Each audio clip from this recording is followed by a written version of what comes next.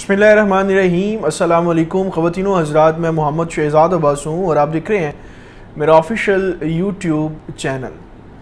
دنیا میں کچھ ایسے چند ممالک ہیں اور کچھ ایسے چند گروپس ہیں کچھ ایسی آرگنائزیشنز ہیں جن کو امریکہ نے صرف اور صرف اپنی بولی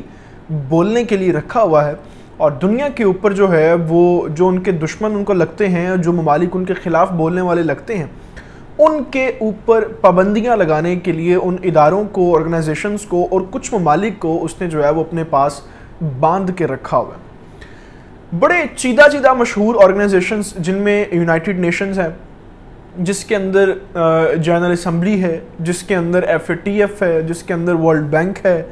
یہ ایسی چیزیں ہیں، ایسے معاملات ہیں جو جس ملک نے بھی امریکہ کی پالیٹکس سے آواز اٹھانے کی کوشش کی، اس کے خلاف ایسی کاروائیاں شروع ہو جاتی ہیں کہ پوری دنیا کے اندر سے یورپین یونین ہو ایف اے ٹی ایف ہو ورلڈ بینک ہو یونائٹڈ نیشنز ہو، کسی بھی جگہ سے اس کے اوپر پابندیاں لگنا شروع ہو جاتی ہیں۔ اور پھر اس کا دوسرا مرحلہ شروع ہوتا ہے کسی طرح کے ٹیررزم کے حوالے سے الزامات لگا کے اپنی فوجیں اس ملک کے اندر اتارنا اور اقتصادی طور پہ تباہ کرنے کے بعد اس کو زمینی طور پہ، دفاعی طور پہ تباہ کرنا۔ یہ امریکن پالیٹکس رہی ہے جو پچھلے ڈیڑھ سو سال سے ہمیں بڑی چیدہ چیدہ جو ہے وہ پورے ممالک کے اندر ملتی ہے۔ مڈل ایسٹ کے اندر دیکھ لیں، آپ یورپ کے وسطی یورپ میں دیکھ لیں، آپ جاپان کے حوالے سے معاملات دیکھ لیں، آپ ہنگری کے حوالے سے معاملات دیکھ لیں۔ ویتنام کے اندر کیا معاملہ اس نے کیا؟ ریسٹ افریقہ جو ہے، اس کے اندر کیا معاملات کر رہا ہے؟ تو یہ کوئی نئی بات نہیں۔ اس ایک دور کے اندر آج سے پندرہ سے اٹھارہ سال پہلے یعنی دو ہزار ایک دو تک، کسی شخص نے پوری دنیا کے اندر شاید یہ نہ سوچا ہو کہ اگلے بیس سال بعد چین اتنی بڑی سپر پاور بن جائے گا کہ نہ صرف امریکہ بلکہ امریکہ کے اتحادی ممالک بھی اس کے خلاف ڈرنا شروع ہو جائے گا وہ کہتے ہیں کہ ہر عروج کو ایک زوال ہوتا ہے۔ امریکہ کا یہ زوال اتنا برا اور اتنے برے طریقے سے ہوگا، شاید کسی نے بھی اس طرح سے نہیں سوچا ہوگا۔ اور اس کی وجہ امریکنز کی اپنی بنائی ہوئی پالیسیز ہیں۔ ایک چیز ہمیشہ یاد رکھیں کہ امریکہ اس ملک کو اپنا دشمن نہیں سمجھتا جس کے پاس صرف ایک اچھی فوج ہوتی ہے، بلکہ امریکہ اس ملک کو اپنا دشمن سمجھتا ہے جس کے پاس ایک اچھی اکانومی ڈیولپ کرنے والی کوئی نہ کوئی ریونیو جنریٹ کرنے والی سکیم ہوتی ہے یا وہ ملک جو ہے وہ ریونیو جنریٹ کرنا شروع کر دیتا ہے۔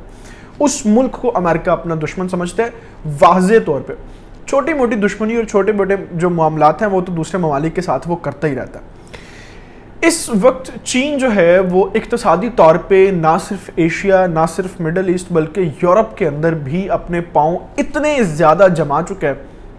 کہ امریکنز بھی بڑی بڑی کمپنیز جو ہیں وہ اپنی پروڈکشنز نیو یارک سے اٹھا کے اس وقت چائنا کے اندر لے گئی ہیں، جن کی بڑی اگزامپلس مائکروسافٹ اور ایپل کمپنی ہیں۔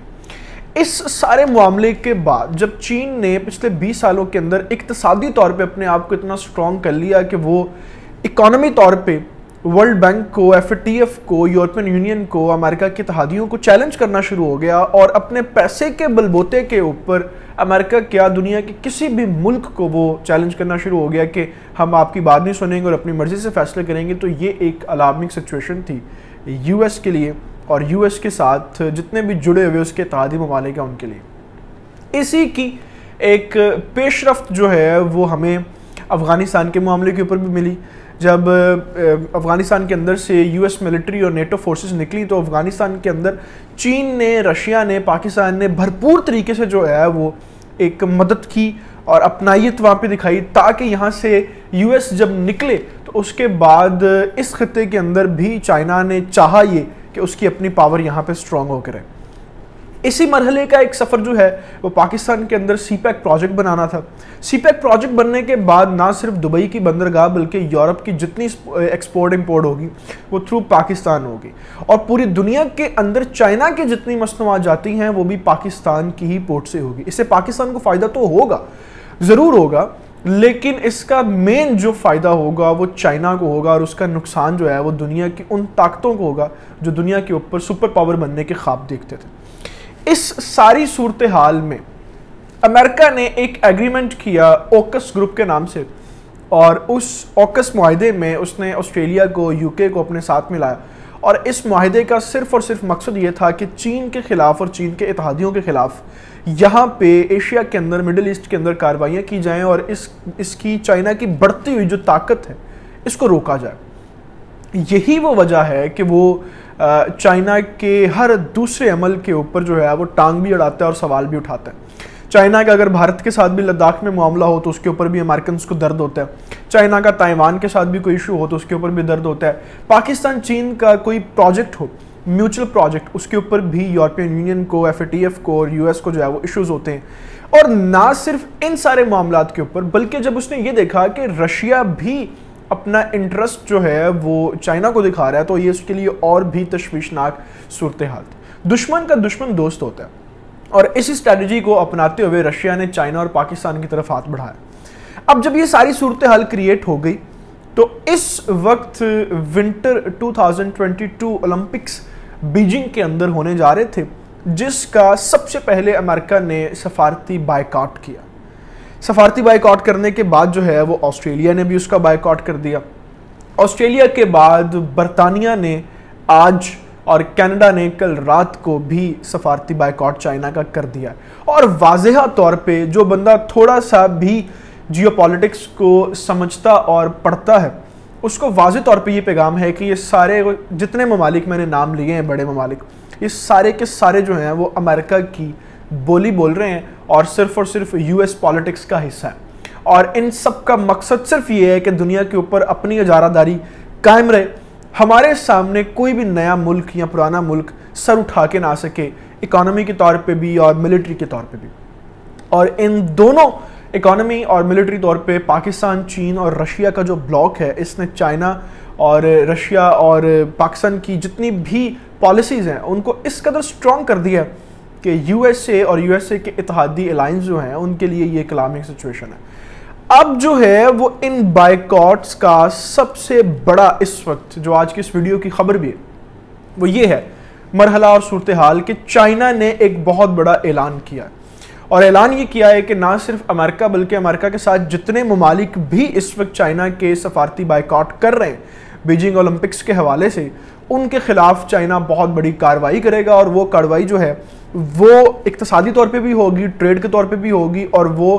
دفاعی صورت میں بھی ہو سکتی ہے۔ یعنی ان کے واضح طور پہ یہ کہنے کا مقصد یہ تھا کہ ہم ان الائنس کے اوپر حملہ بھی کر سکتے ہیں اور جہاں ہمیں موقع ملے گا، ہم ان کو نقصان بھی پہنچائیں گے۔ اب ظاہری بات ہے کہ اس بات کا جو مقصد ہے، وہ سیدھا سیدھا یو ایس کے اوپر اور یو ایس کے اتحادی ممالک کے اوپر جاتا ہے۔ اب تھوڑا سا سوچیں کہ ایشیا کے اندر یو ایس کا جو اتحادی ملک ہے، وہ کون سا ہے؟ تو اس وقت وہ صرف اور صرف بھارت ہے۔ یہ کشمکش جو ہے وہ بھارت کے اوپر بھی گرے گی اور بھارت کے علاوہ ان تمام ممالک کے اوپر بھی گرے گی جو ایشیا کے اندر یا مڈل ایسٹ کے اندر یو ایس پالیٹکس کو سپورٹ کرتے ہوں گے۔ اور چائنا کے اس اعلان کے بعد یہ واضح طور پہ ہو گیا ہے کہ پاکستان کو بھی اس وقت اپنا، اپنی جو ڈائریکشن ہے اس کو کلیئر کرنا ہے اور یہ دیکھنا ہے کہ پاکستان اس وقت کس طرح کی پالیٹکس کرتا ہے جو خطے کے اندر اس کی اپنے مستقبل کے لیے ٹھیک رہے۔ ان تفصیلات کے ساتھ جیو پولیٹکس کے حوالے سے ابھی آپ سے اجازت چاہوں گا۔ آپ سے گزارش ہے کہ آپ نے ابھی تک اگر ہمارے چینل کو سبسکرائب نہیں کیا تو اس کو پلیز سبسکرائب کر لیں بلائکن کو پریس کر لیں، کیونکہ یہی ایک واحد اور آسان طریقہ ہے آپ کے اور ہمارے ساتھ کے بنے رہنے کا۔ اللہ تعالیٰ سے دعا ہے، اللہ تعالیٰ پاکستان کا، پاکستان کے نوجوانوں کا ہمیں ناصر ہو۔ اپنا بہت سا خیال رکھیے گا، اللہ حافظ۔